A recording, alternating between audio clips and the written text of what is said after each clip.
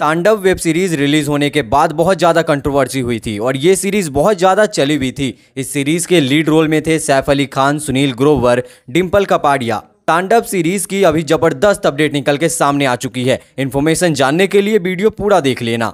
कि जो इसके क्रिएटर हैं अली अब्बास ज़फ़र, उन्होंने रिसेंटली एक इंटरव्यू में बताया कि इसकी स्क्रिप्टिंग का काम चालू हो गया है और इसकी शूटिंग की प्लानिंग भी हो गई है। शुरू में इसकी स्क्रिप्टिंग में दिक्कत आ रही थी, लेकिन अब स्क्रिप्टिंग में जो भी प्रॉब्लम थी वो क्लियर हो गई है। तांडव का सीज़न वन रिलीज़ हुआ था पंद्रह जनवरी दो हज़ार इक्कीस में और सीज़न वन में टोटल नौ एपिसोड थे। हर एपिसोड का ड्यूरेशन तीस से पैंतीस मिनट का था। सीज़न टू की बात करें तो सीज़न टू में आपको कुछ न्यू इंटरेस्टिंग कैरेक्टर भी देखने को मिलेंगे। और सीज़न टू में टोटल नौ एपिसोड होने वाले हैं और हर एक एपिसोड का ड्यूरेशन 35 से 40 मिनट के बीच का होने वाला है। सीज़न टू की रिलीज़ डेट की बात करें तो तांडव का सीज़न टू हमें 2023 के सेकेंड क्वार्टर यानी 2023 के जुलाई या अगस्त के महीने में देखने को मिल सकता है। हालाँकि इसकी कोई ऑफिशियल अनाउंसमेंट नहीं हुई है, लेकिन कुछ सोर्सेज की माने तो तांडव का सीज़न टू हमें 2023 के मिड के महीने में देखने को मिल सकता है। आप तांडव का सीज़न टू देखने के लिए कितने ज़्यादा एक्साइटेड हैं और इस सीरीज़ में आपका सबसे फेवरेट कैरेक्टर कौन है, हमें कमेंट बॉक्स में बताएँ।